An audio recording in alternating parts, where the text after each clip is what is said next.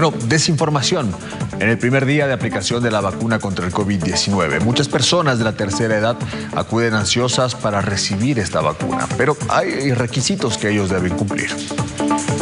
En la primera jornada de vacunación masiva en Cochabamba se registraron algunos inconvenientes, primero por los requisitos y el segundo por el lugar donde debían asistir los beneficiarios. Por ejemplo, en el Centro de Salud Pacata, de acuerdo a la información del personal de salud, los adultos mayores deben hacer fila para obtener una ficha para ser vacunados contra el COVID, las mismas que se reparten desde las 7 de la mañana y se entregan 50 para la mañana y 20 para el turno de la tarde. Me ha dicho que espere, que estoy esperando. Esta mañana vino, pero hasta mientras que fui a recoger otra cosa, ya, ya la fecha la perdió, entonces ya la partieron, ya no se puede mañana. Entonces me han dicho que regrese a esa hora, a esta hora.